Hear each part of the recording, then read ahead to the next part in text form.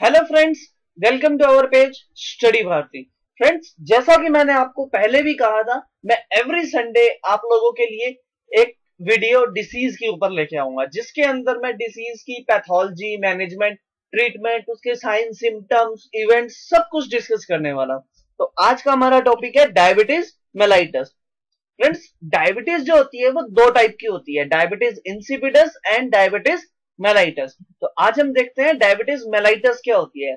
ये भी एक मेटाबॉलिक डिसऑर्डर है, जिसकी वजह से बॉडी में ग्लूकोज का लेवल बढ़ जाता है। Cause by hyperglycaemia hyperlipaemia lipid levels का बढ़ जाना आयंस का इम्बेलेंस हो जाना।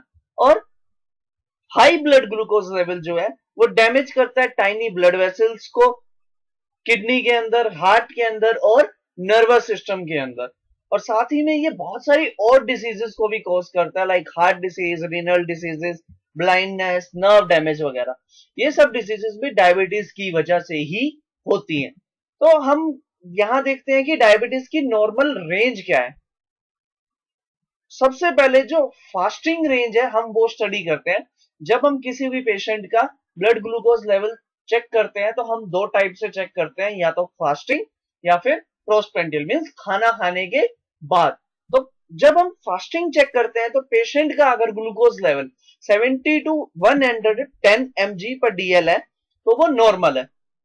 लेकिन फास्टिंग ग्लूकोज अगर उसकी 110 टू 25 तक आती है so that is will be prediabetic means उसको डायबिटीज़ नहीं है, लेकिन हो सकता है कि कुछ टाइम के बाद उसको डायबिटीज़ हो जाए। But more than 125 M G DL in fasting patient considered as diabetic mellitus patient को डायबिटीज़ है। देन प्रोस्पेंडियल में वही रेंज थोड़ा बढ़ जाती है, क्योंकि जब हम खाना खाते हैं तो बहुत सारी कार्बोहाइड्रेट जो है, वो लेते हैं।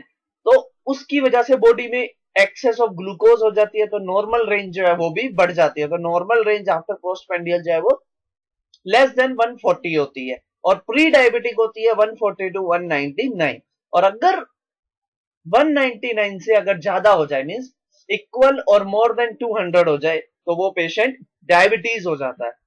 देन हम स्टडी करते हैं टाइप ऑफ़ डायबिटीज़ सबसे पहला टाइप है टाइप वन डायबिटीज़ होती है। इसको हम इंसुलिन डिपेंडेंट डायबिटीज़ भी कहते हैं। ये सारे जो टाइप्स हैं, मैं आगे डिटेल में डिस्कस करूँगा। अभी मैं यहाँ पे सिर्फ़ इनके नेम्स बता रहा हूँ।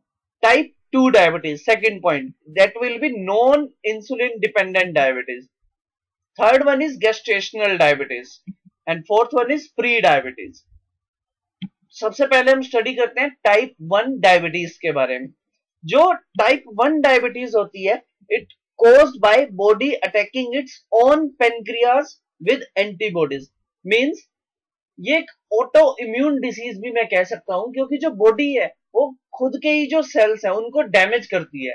यानी कि जो पेनक्रियाटिक सेल्स जिनका काम बॉडी में इंसुलिन रिलीज़ करने का होता है, ताकि बॉडी के अंदर ग्लूकोज का लेवल मेंटेन रहे। पेशेंट डायबिटिक ना हो, उसके लिए हमें बॉडी में ग्लूकोज की रिक्वायरमेंट है sufficient amount of glucose sorry insulin की रिक्वायरमेंट है।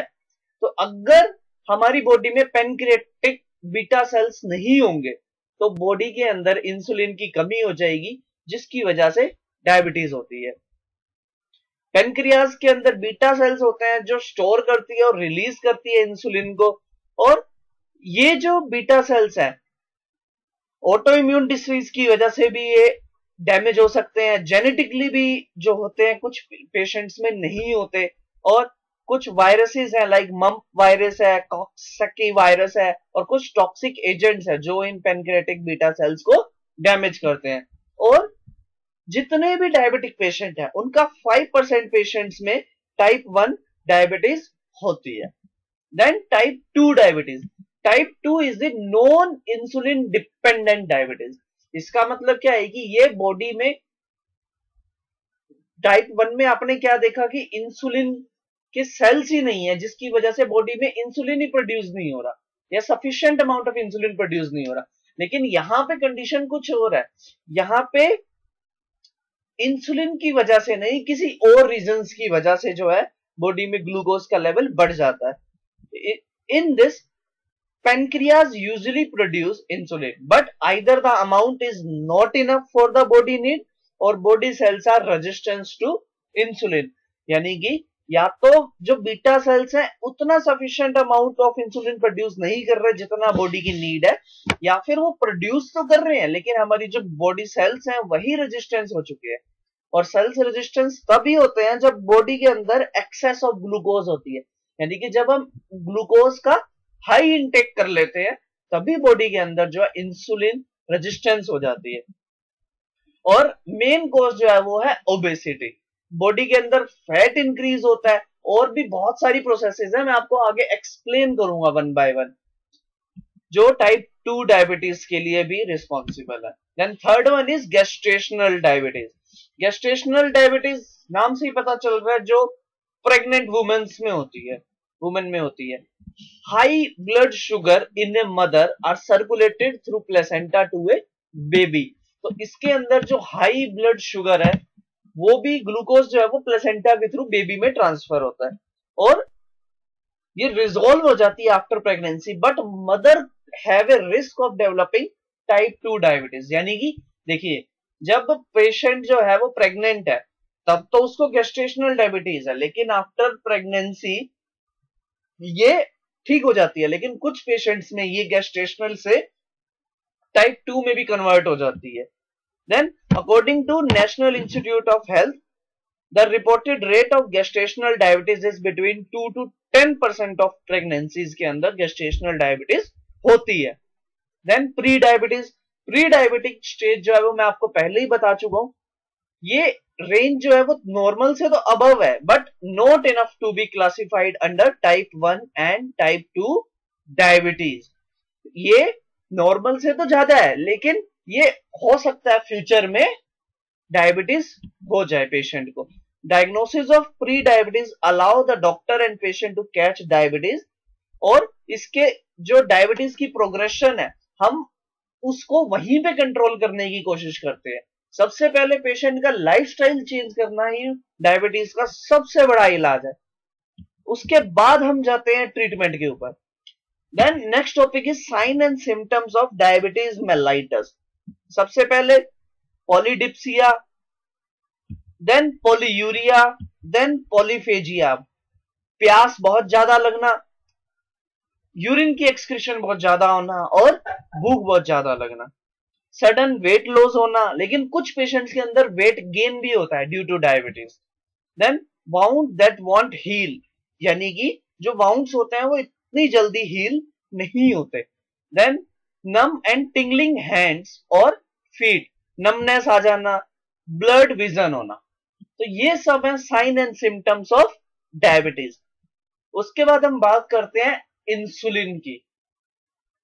डायबिटीज़ को कंट्रोल करना है तो बॉडी के अंदर सफिशिएंट अमाउंट ऑफ़ इंसुलिन होनी चाहिए। और अगर हमारी बॉडी में इंसुलिन नहीं होगी तो पेशेंट के अंदर जो डायबिटीज़ है वो मोर सीवियर होती जाएगी और उसके साथ साथ वो दूसरे ऑर्गन्स को भी डेड करना स्टार्ट कर देगी डैमेज करना स्टार्ट कर देगी।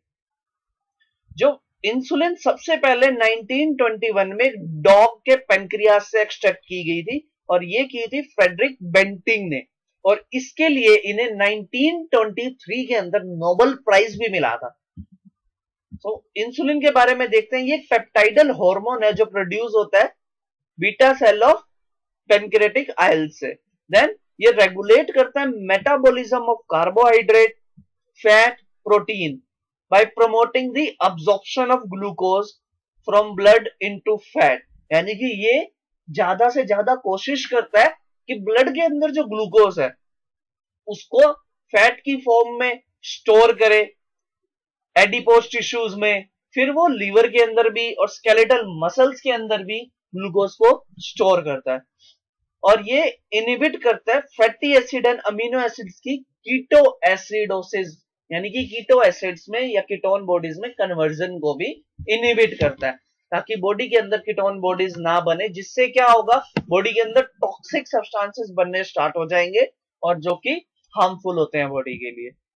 देन सिक्रीशन ऑफ़ इंसुलिन इस मैकेनिज्म को ध्यान से सुनिए, ये बीटा सेल का स्ट्रक्चर है देखिए, ये है ग्लूकोज ट्रांसपोर्टर जैसे ही ग्लूकोज सेल्स के अंदर आता है मेटाबॉलिज्म होता है और एटीपी रिलीज़ होती है। और वो एटीपी क्लोज करती है पोटेशियम चैनल्स को, क्योंकि यहाँ पे लिगेंड गेटेड पोटेशियम चैनल्स होते हैं। तो ये जब क्लोज होते हैं, तब मेम्ब्रेन डीपोलराइजेशन होता है और voltage gated calcium channels open होते हैं। और वो वोल्टेज गेटेड चैनल्स जो है सॉरी बीटा सेल्स के अंदर पड़े हुए वेसिकल्स जो कंटेन करते हैं इंसुलिन उनके ऊपर बाइंड करते हैं और एक्सोसाइटोसिस करते हैं, जिसकी वजह से ब्लड के अंदर इंसुलिन जो है वो रिलीज़ होती है। और जब बॉडी के अंदर इंसुलिन का सिक्रीशन हो गया बॉडी के अंदर इंसुलिन रिलीज़ हो गई, तब वो सेल्स के ऊपर कैसे काम करती है और ग्लूकोज के लेवल को कम करती है। देखिए, जो इंसुलिन है वो सेल के ऊपर प्रेजेंट इंसुलिन रिसेप्टर्स जिसकी दो सब यूनिट होती हैं अल्फ़ा और बीटा सब यूनिट बहुत ही अच्छे से समझिएगा इस डायग्राम को, ये आपका पूरा डायबिटीज़ का टॉपिक क्लियर कर देगा। देखिए, हमने पीछे देखा इंसुलिन की सिक्रीशन हो गई यहाँ पर। कैल्शियम चैनल जब इन वेसिकल्स पे बाइंड करते हैं और वो एक्सोसाइटोसिस होती है, फिर इंसुलिन रिलीज़ होता है। और जब इंसुलिन रिलीज़ होता है, तब वो इंसुलिन रिसेप्टर्स जो कि सेल मेम्ब्रेन पे प्रेजेंट होते हैं, वहाँ पे बाइंड करता है। और टायरोसिन काइनेज एंजाइम होती है, जिनकी प्रेजेंस में फॉस्फोरिलेशन होती है। और फॉस्फोरिलेशन होके जो सेल के अंदर ग्लट फोर रिसेप्टर्स होते हैं ग्लट फोर चैनल्स मैं कहूँगा, ये जो होते हैं सेल्स के अंदर इनएक्टिवली फ्लोट करते रहते हैं। तो ये इनको जो है फॉस्फोरिलेशन करता है और सेल मेम्ब्रेन पे बाइंड करता है। जिससे क्या होता है? ग्लूकोज जो ब्लड में प्रेजेंट है, वो सेल्स के अंदर आती है। जैसे ही वो सेल्स में आती है, चाहे वो मसल्स हो, चाहे वो एडिपोस टिश्यू हो, चाहे वो लीवर हो, उनके अंदर वो ग्लाइकोजन की फॉर्म में स्टोर करती है। इसको हम ग्लूकोजेनेसिस भी कहते हैं, इस प्रोसेस को। जब ग्लूकोज जो है कन्वर्ट हो जाती है ग्लाइकोजेन में, और बॉडी के अंदर, यानी कि जो प्लाज्मा के अंदर जो ग्लूकोज एक्सेस में प्रेजेंट है, उसको ये कम करती है। अब सोचिए, अगर हमारी बॉडी में इंसुलिन नहीं होगी, या इंसुलिन का सिक्रीशन जो है वो कम होगा तो ये इंसुलिन यहाँ पे बाइंड करने के लिए कम अवेलेबल होगा। जब ये बाइंड नहीं करेगा तो ये ग्लट फॉर रिसेप्टर्स यहाँ पे कैसे आएँगे? और प्लाज्मा वाला जो ग्लूकोज है, वो सेल्स के अंदर स्टोर कैसे होगा? तो इसीलिए हमारी बॉडी को इंसुलिन की रिक्वायरमेंट होती है ताकि वो ग्लूकोज को प्लाज्मा से निकाल के सेल्स में स्टोर कर सके। देन डिफरेंट टाइप की इंसुलिन प्रिपरेशन मार्केट में अवेलेबल है। लाइक रैपिड एक्टिंग होते हैं जो इंस्टेंटली अपना रिस्पॉन्स शो करते हैं। इसमें आते हैं इंसुलिन लिस्प्रो एस्पार्ट ग्लूसिन जिनका onset action point two to point three hours का होता है। उसकी जो पीक है वन आवर्स के अंदर आ जाती है और उसका टोटल ड्यूरेशन थ्री आवर्स का होता है। शॉर्ट एक्टिंग होते हैं, जिनको हम सोल्यूबल इंसुलिन भी कहते हैं और रेगुलर इंसुलिन भी कहते हैं। इनका duration six to eight hours का होता है। यानी कि आपने कभी देखा हो डॉक्टर जो होते हैं, दिन में तीन बार इंसुलिन की डोज लेने के लिए बोलते हैं। कई बार डॉक्टर कहते हैं कि इंसुलिन की डोज केवल नाइट में लेनी है। तो इसके बाद इंटरमीडिएट एक्टिंग आते हैं, जिनका 20 टू 24 आवर्स का होता है एनपीएच बीसी में आते हैं। और एक लॉन्ग एक्टिंग होते हैं जिनका, जिसमें ग्लार्जीन और डेटेमर आता है, जिनका 24 आवर्स का ड्यूरेशन होता है। यानी कि अगर किसी ने ग्लार्जीन ली है लॉन्ग एक्टिंग इंसुलिन ली है तो 24 आवर्स तक वो बॉडी में ग्लूकोज के लेवल को मेंटेन करके रखेगा। देन हम बात करते हैं हाइपरग्लाइसीमिया की। अब आपने देखा डायबिटीज़ हो गई पेशेंट को, उसके लिए हमें इंसुलिन की रिक्वायरमेंट है। लेकिन जब किसी पेशेंट को डायबिटीज़ होती है, तब उसके अंदर ग्लूकोज का लेवल इंक्रीज हो जाता है, जिसको हम कहते हैं हाइपरग्लाइसीमिया अब आप ये देखिए कि ये हाइपरग्लाइसीमिया जो है, कैसे बॉडी के अंदर जो स्मॉल कैपिलरीज होती हैं, जो वाइटल ऑर्गेन्स हैं लीवर किडनी है, उनको कैसे ये डैमेज करती है? देखिए हाइपरग्लाइसीमिया जो है, जैसे बॉडी में ग्लूकोज का लेवल इंक्रीज हो गया तो उससे एनएडीएच की प्रोडक्शन भी इंक्रीज हो जाती है, जिससे इलेक्ट्रॉन ट्रांसपोर्ट चेन की हेल्प से रिएक्टिव ऑक्सीजन स्पीशीज बहुत ज़्यादा बनने लगती हैं। आपने पढ़ा होगा, पहले जब ग्लूकोज की ब्रेकडाउन होती है सिट्रिक एसिड साइकिल जो है आती है तो उससे एटीपी बनती है एनएडीपीएच बनता है, और वो इलेक्ट्रॉन ट्रांसपोर्ट चेन की हेल्प से रिएक्टिव ऑक्सीजन स्पीशीज बनाता है। और वो ऑक्सीजन स्पीशीज जो होती है ऑक्सीडेटिव स्ट्रेस को इंक्रीज करती है। जिसकी वजह से एंडोथीलियल डैमेज होता है, और एंडोथीलियल डैमेज की वजह से डायबिटिक रेटिनोपैथी होती है डायबिटिक न्यूरोपैथी होती है, और डायबिटिक नेफ्रोपैथी भी होती है। आई होप फ्रेंड्स अब तक आपको मेरा जो आज का टॉपिक है समझ आ रहा होगा। आगे हम कंटिन्यू करते हैं। ओरल हाइपोग्लाइसीमिक एजेंट्स यानी कि वो ड्रग्स जो डायबिटीज़ में हम यूज़ करते हैं, और जो हाइपोग्लाइसीमिया को करते हैं। देखिए, सबसे पहले है सल्फोनाइल यूरियाज। सुर इनिबिटर्स भी कहते हैं हम इनको। ये इसमें आते हैं glimepiride glipizide then second is biguanides इनमें मेटफॉर्मिन आते हैं। देन थर्ड इज़ थायोजोलिडोन्स इनमें पायोग्लिटाजोन्स आते हैं। Then fourth is alpha glucosidase inhibitor इसमें वॉगलीबोस भी आता है कार्बोज आता है। Then DPP four inhibitor dipeptidyl peptidase enzyme sitagliptin linagliptin saxagliptin आते हैं इनके अंदर। GLP one analog liraglutide exenatide semaglutides आते हैं इसके अंदर।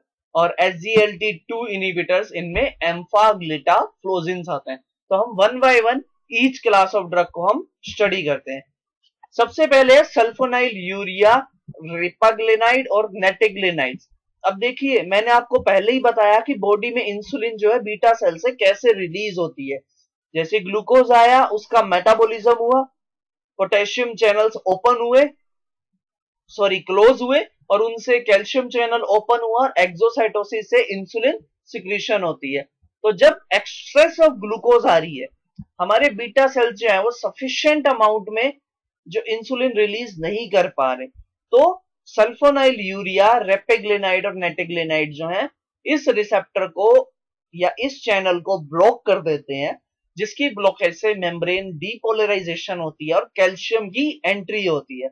कैल्शियम की एंट्री के साथ ही वो वेसिकल्स पे बाइंड करता है और और ज़्यादा इंसुलिन जो है वो रिलीज़ करता है, ताकि बॉडी के अंदर ग्लूकोज का, जो प्लाज्मा ग्लूकोज का लेवल है वो कम किया जा सके।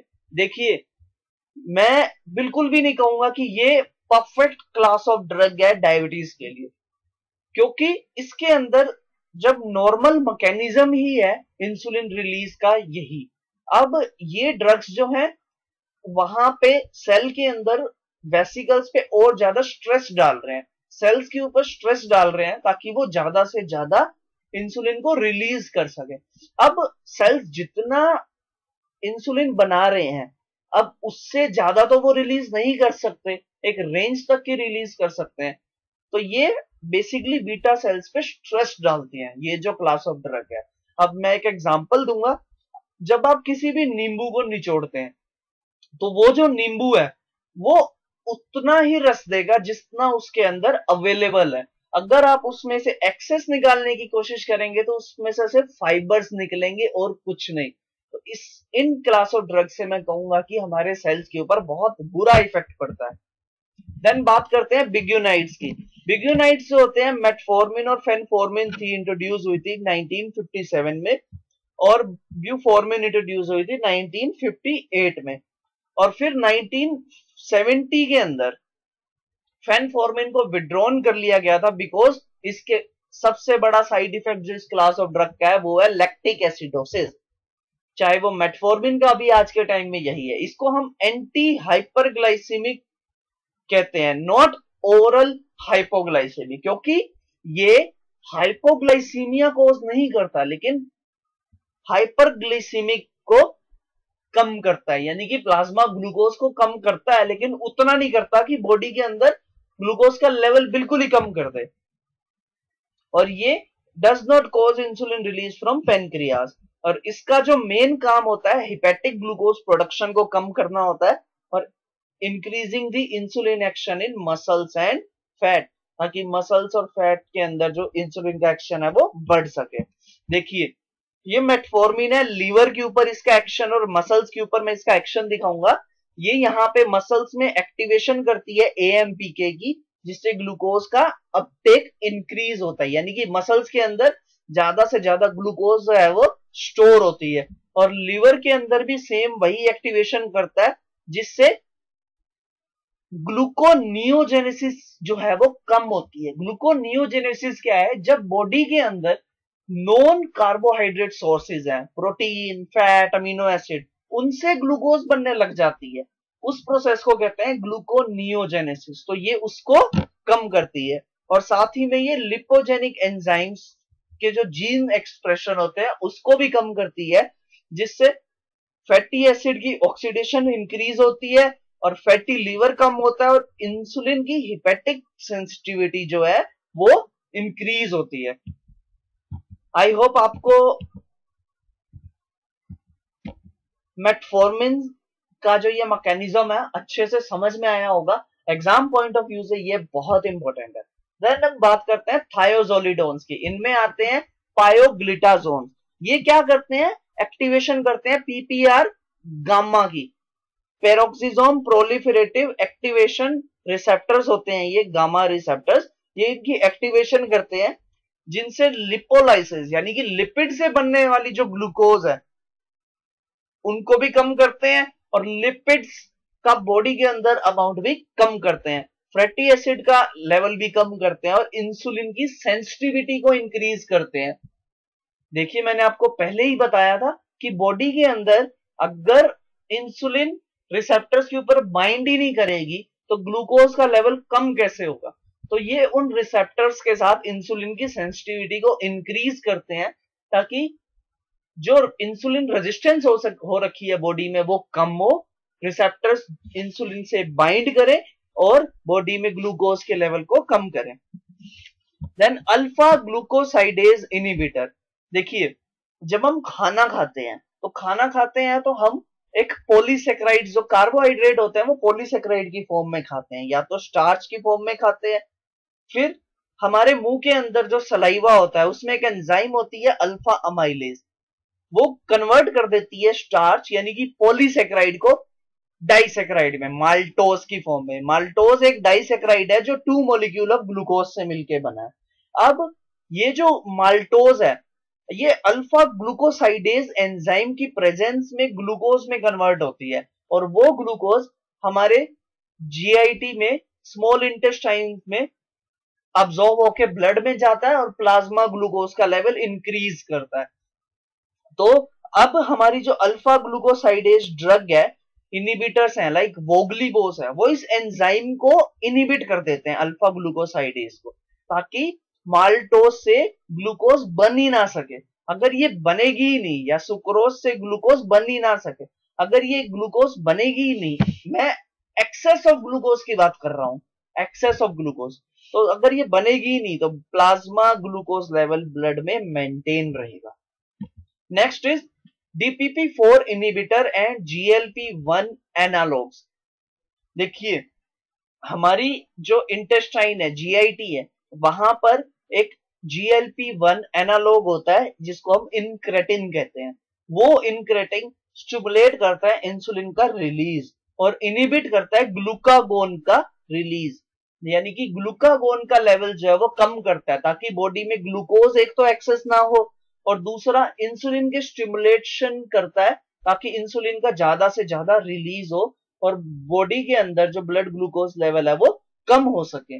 लेकिन यहाँ पे एक एंजाइम होती है डीपीपी फोर एंजाइम जो इस इनक्रेटिन को इनिबिट कर देती है सॉरी इनएक्टिवेट कर देती है।